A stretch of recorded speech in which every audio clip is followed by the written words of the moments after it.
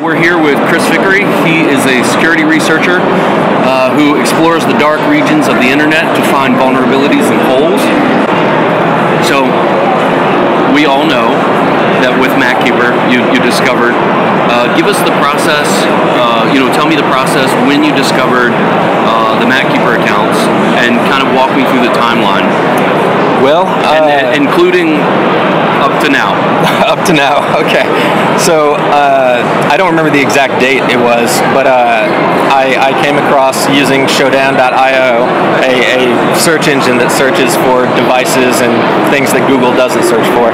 I came across an interesting looking database that had uh, the word Zeobit in it, and uh, I had never heard of Zeobit before, so I looked into it and realized this was account information uh, belonging to somebody, and then I saw all sorts of references to MacKeeper, so I googled what MacKeeper was, and you know Kromtech and MacKeeper showed up, and uh, I found uh, a phone number on the MacKeeper website and tried calling it.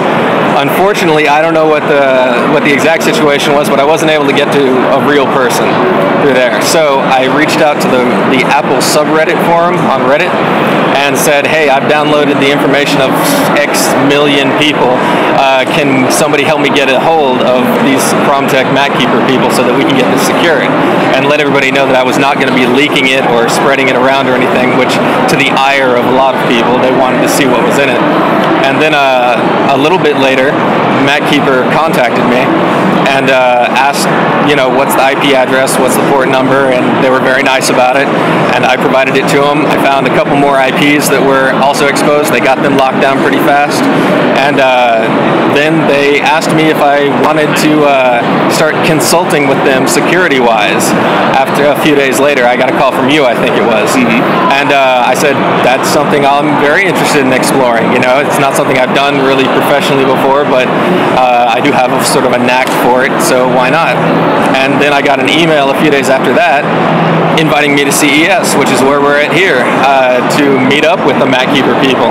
And uh, it's been fantastic. I mean, the response time was good. They've been very nice to me. They didn't call me a hacker or anything, so that was that was very very uh, refreshing. And as far as I know, they've upgraded the uh, password algorithms that they're using to uh, store user passwords now, so they're not easily crackable. Uh, and they're taking many proactive steps to, to make sure that it doesn't happen again. And before, you were a PC user, and now you're a Mac user. I don't know if I call myself a Mac user. Not I have a Mac. Not Thanks to you guys. Thanks to you guys. I now have a Mac laptop, so I'm gonna explore MacKeeper and see see uh, how it works and and what I, what I think of it.